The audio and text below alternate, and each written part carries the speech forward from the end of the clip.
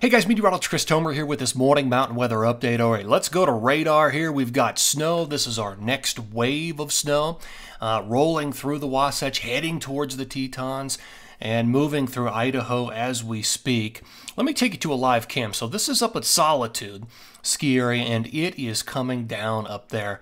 I'm thinking three to six inches out of this and it's mainly going to be the first half of today and then it will probably dry out this afternoon. Let me take you to my bullet points here this morning and show you what I'm thinking. So, in total, we've got three storm systems ahead. The one you see right now, and then there are two additional ones behind that. And yes, the Wasatch is definitely a bullseye when I'm looking at all the totals. I mean, we could be looking at three to four feet of grand total snow by the time all this is said and done. You can see the timeline here. I'm not going to go for all go through all of these Wasatch, Tetons, Colorado, but all three places do have snow in the forecast today and then quite a bit beyond as well. In the Northeast, only light snow on 222. And what's really interesting is what's going to happen down the road. Uh, on or after 12, 25, 26, 27, 28, northern branch is going to get involved, and we're going to see a little colder air and a nice merger with a couple of storm systems. So we'll look at all that in this uh, forecast update. I want to go back to water vapor satellite imagery this morning and just show you what's going on here. So on this, your oranges and reds are your drier air aloft, and there's one wave going through the uh, the Intermountain West right now of snowfall. The main low with the trough is still sitting back here, and again, it's taking its time moving in. And I'll draw on the jet. Uh, the subtropical jet is really escorting this thing into California, and eventually the whole storm system will move in. 19, 20, 21, and 22. It'll cross Utah and then eventually through Colorado, and that's where we're going to get some significant snow accumulations with that. Okay, let me show you what the jet stream is going to look like here. So that's uh, the jet at the close of business today. You can see the dip in the jet, the trough there supporting that storm system rolling into California. Still there tomorrow, and then it starts to make its move 220, 221, moves through Utah, Colorado, 220, 221, and 222. And there it is by the end of the day on 222. Here comes the next storm system headed towards California. Now, watch what happens. Here comes the merger.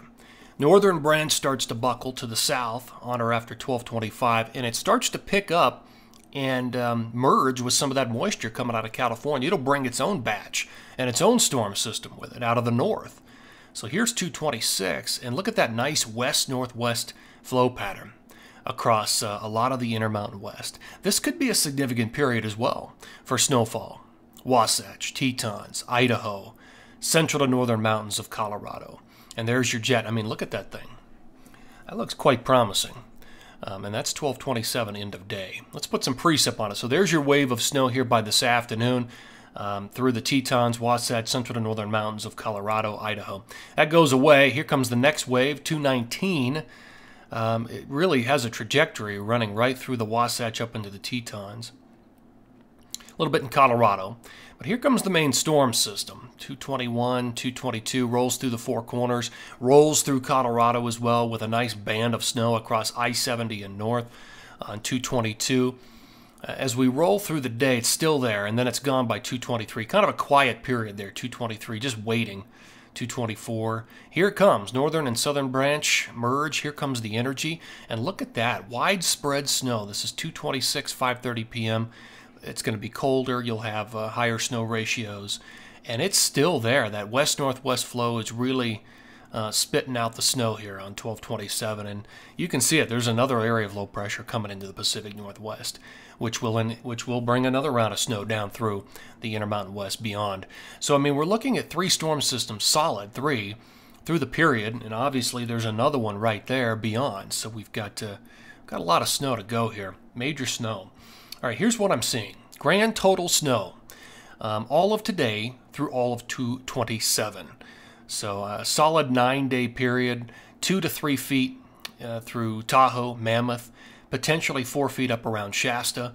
And I want to hone in on the Wasatch. Uh, big and Little Cottonwood Canyons could easily be looking at three to four feet of, a, of grand total accumulation. A couple of feet at Park City, Deer Valley, Snowbasin. Western and northwest Colorado, that's where we're going to see the bulk of Colorado snow in that purple shade. Anywhere in purple's over a foot. We could see uh, one, two, two and a half feet of snow in those areas. Less to the south, less in New Mexico.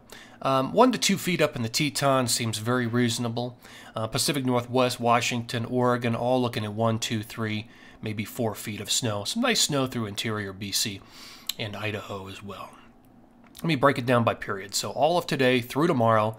Um, so you've got some snow falling this morning in the Wasatch. You'll get a break, and then snow will come back tomorrow afternoon, tomorrow night, and then it's a very solid period for about three days. But you can see what uh, is going to fall there. Some nice snow through California as well.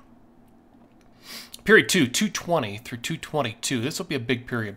Uh, 1 to 2 feet in the Wasatch, uh, probably 4 to 12 central and northern mountains of Colorado. Some higher totals up around Steamboat, Buff Pass, Cameron Pass, um, those preferred areas, flat tops, uh, about 5 to 10 in the, uh, the Sierra.